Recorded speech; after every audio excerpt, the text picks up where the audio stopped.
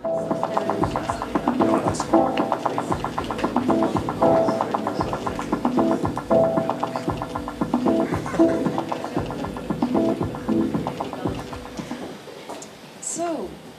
Gert Robijns.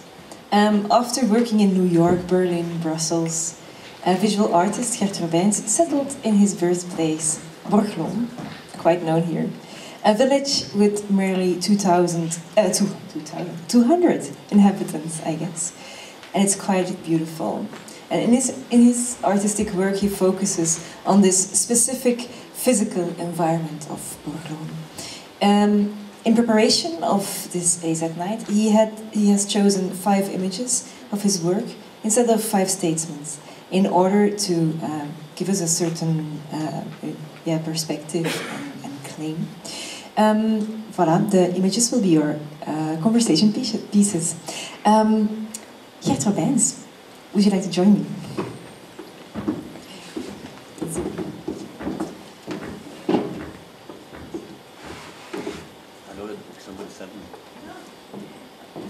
Oh, so you already knew uh, Catherine's work? No, I didn't. But um, um, I think a few months ago, somebody from Holland sent me this book uh, to tell me that there was this kind of research on the village uh, because I had that kind of project in my village. Uh, tell me I wasn't alone. Yeah. Oh, nice. So, Reset has been a, actually like a name covering um, or a concept covering a few projects. But what I'm wondering, actually, my first question would be uh, you traveled the world and you decided to settle, uh, come back to Borgloon. Why? Actually, um, my father was a military, uh, soldier. My mother was a nurse. Uh, and there was actually in this village no uh, trigger for me to become an artist. And um, through television, we had Kunstzaken, uh, before your time, I think. Uh, I saw a few of them, yeah. Regine Clauwaert. Um, and we had Dit is Belgisch. Um, so there was kind of, uh, for me, like, was very much interested in things who were not actually meant for me. Because if you come from that place, this is uh, uh, mostly uh, farmer-oriented area, uh, and I was just always interested in this kind of aesthetics. Uh, and uh, when I was 16, I had a tumor in my head, and after this operation, I went to my father. I start first to to go for architecture. Uh, and the, year, after, year later, I decide here in Hasselt to study art school. And I really decided that this was for me a very uh, meaningful thing. And I was very, actually very depressed in that village. Uh, when I was only, for me was this kind of uh, art practice also a way to survive and to give extra meaning. Uh, and I felt it was a very uh, important thing for myself. So that was why I, and then I, I moved to Brussels to study art. And then you moved back. That was a trigger to move back. Um, I studied Brussels, uh, St. Lucas, then I went to Jan van Eyck Academy uh, in the fine art department. After it, I was invited by PS1 to go to New York, but but always and also the first time in also in Van Eyck that came like design, fine arts, uh, and theory together. And uh, it was always like that people tried to be very clever and very smart. And I was always thinking like, uh, wherever you are and whatever you think, what you think, it's from that point of view very interesting. So, and what, what also was very confronting was that I saw when I when you go to New York or you go to, or there is a, a scene in Amsterdam or even in, in Belgium, Brussels or Ghent, that they have their own kind of uh, deal what is their uh, idea about what is now very much important. Um, and I was questioning myself if this was the real thinking, because the real thinking was more um, directed by the context uh, and not from like a different pers- pers- perspective. And do you think you have less pressure of context in Borgloon? Sorry? You have you, don't have this pressure, this context pressure. Yeah, I was thinking myself, and I was also like kind of uh, what I was like uh, checking out with myself. If there is no context, is there is there still a kind of inner desire to create something? Mhm. So that was not uh, the context was not. There was just always go to that point, like uh, if there is where comes the new perspec- perspective and um, can you have that in a place where there is actually no per- no cultural pers- perspective? Interesting. And let's uh, look at the first uh, image. There, I see a, I see a mouse. I think, and then I was actually when I was selecting the images, the, the three last images are more reflecting about the subject tonight, but this is like a work that I made in Jan van Eyck Academy, and um, this was actually the idea that I tried to uh, the idea how can you manage to uh, grab an idea and was the idea that a mouse is always running away so I was it's making not a real mouse. no, it's a uh, video installation Hmm. and a sound installation. And what you see are two LCD uh, small screens. And I record the sound of my hand was going over the surface. And I filmed a mouse who was eating bread. And when he came closer, there was like a kind of detector who noticed you and then the image changed into an empty image of bread and you hear the sound of uh, this kind of sound uh, and the uh, uh, speaker system guide you to the other way So, so it was running away. you never could could see the mouse Yeah, you could never catch it. Let's, let's see maybe the next uh, image. uh, Hmm. the title of this image is in concert is uh,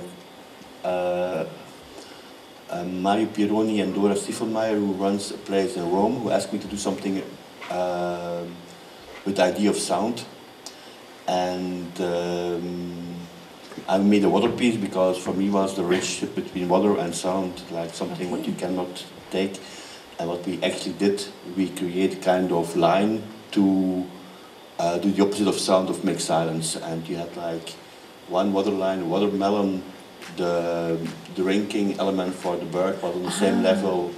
Uh, the bag of the pl- plastic bag was filled with water, and the shirt was like, and with the idea of a kind of aquarelle, what was drying and um, created certain aspects of volume and notes and rhythm and And did these two works also already were reflecting back on? Um, was there like a, a memory of of Borgloon or or the maybe not literary Borgloon, but the context you came from? actually actually there is always this aspect of this mouse which is very much to do with the countryside where you suddenly see this kind of or a bird that's flying away or Mhm. this expe- aspect of of vegetables uh, what came also later in the work uh, cutting this kind of watermelon so there is this aspect of of um, countryside in a way Yeah, yeah, but yeah. not literary No, so yeah, yeah. But there are like already aspects uh, Yeah. occurring there. Mhm. Maybe the next uh, image. There we have um, a scale model, uh, right? Is it is the one-on-one uh, scale? Or? uh, it's 75 percent okay, and can you uh, explain what we what we see? Um, so, um, first I have to tell something about a project what I did in the museum. They asked me to do something with the collection, and I made the collection one to one in black and white. And at the same moment, I had the idea it could be very interesting to do that one to one situation on an urban situation. Uh, to copy not uh, pieces out of the museum, but to do that with uh, a kind of city or. And when I was doing that in MuHKA, I was directly thinking that it would be great to do that with, my village. And then, like six years ago, the mayor of Sint-Truiden asked me to do something in Sint-Truiden. And Sint-Truiden is a city next to the village where I was, uh, where I was born. And directly I felt this kind of desire of this major to become also uh, like uh, part of the world, uh, international uh, art who would upgrade uh, his uh, place. And I was actually not very much interested to do the project because I felt like okay, I will, I have to explain what is the value of an artist, and people gonna say like, listen, this we can do also ourselves, and it's like, uh, so there is always this kind of friction between this thinker and this artistical mind. What I also felt very much when I started to to express that I was that I want to be and uh, develop an artist practice. So So you felt a little bit utilized as so. The mayor was thinking we can use an artist to make our voilà. environment more interesting. So I I I uh, told them okay. I went to my ideas and I was thinking like okay, from one hand to make a copy of the museum, but no to make a copy of this village that would for me very interesting. For the other hand, I would cut down all his desire to become international and giving him his his um, uh, very local small village, bring it to his uh, place. The third thing for me was interesting that I could uh, uh, tell my parents, like, listen, uh, uh, it still has a certain value to, to, to work as an artist. So I brought very different kind of aspects of desires of different uh, uh, people together. And but I was hoping that he would say no, and then he says, uh, first he said like, wow, it's super interesting. Then I hear for one year nothing, and a year later he, they told me like, listen, it, it kept so much in our mind what it means, all this development of uh, cities, uh, globalization ID, uh, the international. Um, so what we will do, we will put two years of our production uh, of our, our cultural budget together. Uh, and I said, yeah, but then still not enough. I said, yeah, the rest we find. So Okay, yes. Oh, great. So this dorp, um, the, het dorp, the village is in 2011. And then uh, if you go to the next uh, slide, there is this special So, house. so this was 10 kilometers further where I, where I put the model. And then we came to the point that um, you felt there was a certain basis, base what I create for that area, that there was like also other initiatives uh, in the landscape who came in Borgloon. So you felt there was already something t- changing. There was a there was a room for artistic. The, the great thing is that you feel there is a certain crisis. Uh, there's also like an economical crisis, also like a, a lack of perspective. So out of that kind of problem that you can create, you can people are uh, interested in. Okay, artists now you can come with new ideas. Okay, so they're looking at you for, um, yeah, actually you're, they're looking for for solutions or possible solutions maybe. But very practical, like okay, how, how can we uh, re uh, uh, facilitate and re uh, energize our place? Mhm. You quite literally did this. This is actually, um, we can't see it from here. Maybe if we can go to the next slide, you can see it better. We see one part of the building, um, that it's an old house. This, this, um, this actually reset home. Yes. Mhm. And it is a it is a house you know quite well, right? this was for me. So I uh, took the village. I stole the village and brought it to Sint-Truiden. Yeah. So this was like a blank open space. And then 2011, like five six years later, my grandmother became more difficult to stay in her house uh, without uh, help.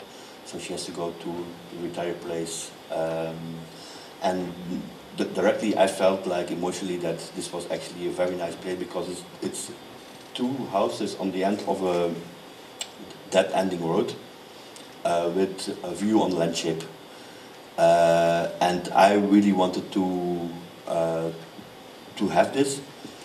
But on the same moment, I was making an exhibition where I was making kind of sculpture exhibition of myself with socles who were from three sides open. And all the idea was that I was making a show. I was um, I put the circles over my work and invite other artists to do something on top of this kind of structures. Mhm. And you quite literally translated Yeah. that. So I had two things. First, I could continue my work of the village instead of bringing it 10 kilometers further. Here, I rebuilt the house 10 centimeter in front of the original. And the second thing was that I could open the place uh, for people who has to think about something. So I want, wanted to create place there for myself because this was always the problem. I couldn't have that kind of place when I would stay there. But, but by going away and developing something uh, abroad, I could come back with a completely kind of new. Um, so I open that and I invite artists to to work in that, actually, on the um, blueprint of my grandparents. Exactly. So actually, in the word reset, there is a lot of. I mean, there is a lot of meaning in that word. I guess, like you, you reset a place. Is that is that correctly? I was searching for like how can I, at certain moment I came to the point of a reset, to like to unplug everything and restart all the, the situation. What I think was also very important for myself, but also what's very important for the uh, for the place and for the area. Yeah, yeah. So there is, there is actually you you have this imperative to, um, to to um, to improve the area, or is it too much of a moral? Yes, that, and that's the questionary also today, tonight. Like we always think that um, that we, from our point of view, can give an extra dimension, and the question is, uh, does a place need an, an extra dimension? Uh, and out of my experience of running two years the place, um, from one hand there are like people who, who are standing their parallel projects, so they feel it's very important. But from the other other hand, people really comes to me and tell me like what I never expect. Like we are so happy that there is more than just a cantina or some. There is also something to have a kind of extra dimension uh, for us. And sometimes I'm very surprised that when I see the people from the first glance, I am not thinking that there is this need, but there is uh, strange enough, like a lot of people who are also telling me like, for this artist we went to this exhibition, we saw that exhibition, we saw that. and then I'm completely surprised that they uh, also know artists who are not very, not very known, but There is a thirst. absolutely. Yeah. Let's quickly go to the last two uh, pictures. Maybe um, what I see is a, a serre, a hothouse. Mhm. This is from, from your most recent Yes. Um, so what we saw before, the title of this is, is Reset Home. Um, in that, in that proce- process, I was during my uh, practice before also very much interested in climate. And um, what I did know, I was always bringing one place to the other place. And during after reset, I was a bit tired of uh, uh, making this kind of sculpture, and uh, I was thinking instead of using material, how can we uh, uh, travel into space by changing climate? So I was thinking like um, kind of museal situation where I was making it wet, making it cold, making it warm again, and that you just walk into spaces where there was like a mist or where it was like, and that you just had that field where you walked in. And while I was developing that idea, I was thinking about uh, that a glass house would be like the most interesting part because you had also the relationship to the climate and to the. Um, and then out of that, we are starting to uh, think about uh, uh, to reflect the world uh, from where we where you are. That we then just raise crops and that then we change them into bronze. And from that point, that we go to uh, think about different aspects of water. That it's evaporating or it's freezing in the last element. Um, and then uh, in the second part, uh, in relationship to that uh, issue of the landscape. Yeah. Maybe if you can see the last picture, it's another picture of uh, close up. So what do we see here? Like the evaporating water? And there, there is like that we want to create a balance between outside and inside, and we want to have in the center that is that that there is uh, the same amount of wind inside as outside. So when it's storming outside, it will be also storm inside. Yes. So this is also a scale model, actually. This is a scale model, yeah. For and and so it will be. It's a plan to actually Yeah, this- it in a- ac- actually to convince uh, the The mayor. Yeah. okay. but I like it also very much sculptural to create this kind of sculpture between sculptural and this kind of exercise model. Yes. Thank you so much. Let's invite the other um, architects, artists